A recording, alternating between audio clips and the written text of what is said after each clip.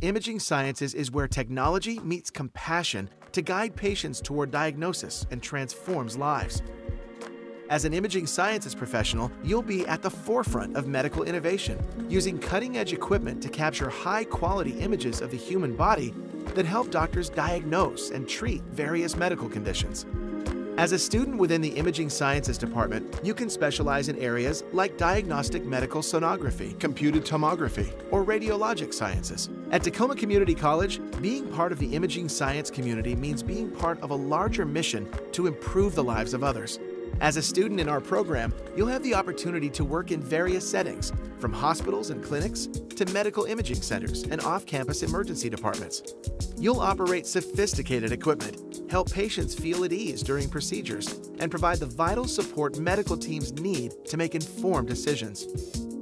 If you're someone who thrives on challenges, loves working with people, and has a passion for making a real difference in people's lives, choosing a pathway within imaging sciences is the perfect field for you.